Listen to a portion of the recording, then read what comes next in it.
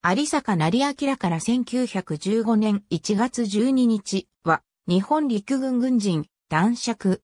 帝国陸軍の国産小銃を村田常義に次いで開発するなど、銃砲開発の大家と謳われた人物。最終階級は陸軍中将。別名に、厚志蔵。周王国岩国に生まれた、長州藩士、木部左門の次男、陽明を四郎という。文久2年、11歳で同藩の法術家、有坂ながらの養子師となった。岩国藩の洋式軍隊である日清隊の一員として、鳥羽、伏見の戦いに参加している。明治維新後の明治3年、陸軍兵学寮に入る。明治6年同校を中退し教官となる。翌年造兵士出資。明治15年文官から転じて陸軍砲兵隊員となる。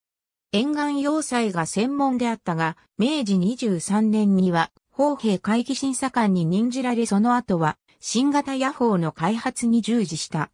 なおこの年には、村田銃の開発で著名な村田常義少将が予備役編入されている。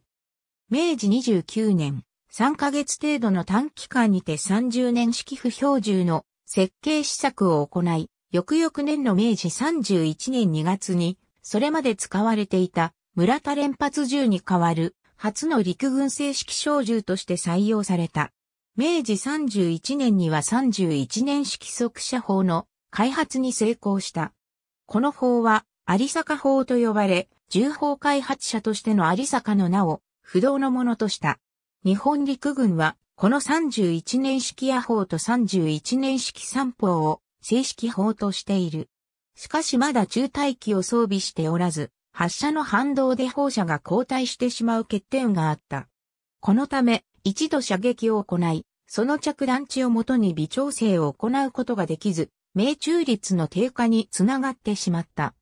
明治33年陸軍砲兵会議議長となり、その後明治36年には、同職と陸軍公兵会議議長を統合した初代陸軍技術審査部長となり、日露戦争に臨むこととなる。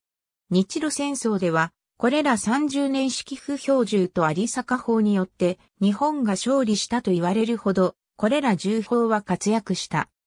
31年式速射砲は、ロシア軍の1900年式3インチ野砲に射程で劣り、中待機付けの1902年式3インチ速射砲には発射速度、最大射程ともに劣ったが、砲弾の性能はむしろ良好であった。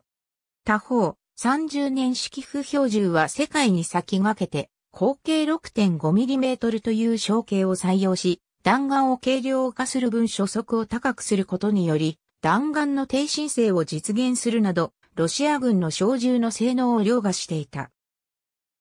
この小銃の成果により、有坂の名は世界的に知られ、特にアメリカでは30年式以降の日本の小銃を南部キジローラによって30年式から改良された38式不標準なども含めすべて有坂ライフルと呼んだ。また有坂は日露戦争中最大の難戦となった旅順、後位戦の打開策として、時の参謀総長、山形有友に国内の軍港等に要塞砲として据え付けていた28センチメートル砲を投入するよう進言し、具体的な移動方法や現地での設置方法を示した。この巨砲は、旅順要塞の破壊に大いに貢献し、旅順攻撃の象徴の一つとなった。さらに一部は法天まで移動し、法天海戦においても日本軍の主力砲として十分に威力を発揮した。こうした重砲技術面における貢献が高く評価され、明治39年4月1日に高二級金士勲章を受章、明治40年9月21日に男爵女爵、明治43年5月20日に勲一等随宝章を受章するなど、数々の栄誉に輝いた。ただし、本人は叙勲の旅に困惑していたというエピソードを持つ。これは巧妙を誇ることを嫌った。また重機開発の事故や戦乱で多くの人命損失を悔やみ、それを苦悩していたためであったからと言われている。明治44年6月、軽い脳一血に倒れ、体名を仰せつけられた。大正4年1月12日没、去年64。墓地は東京都台東区の谷中霊園にある。ありがとうございます。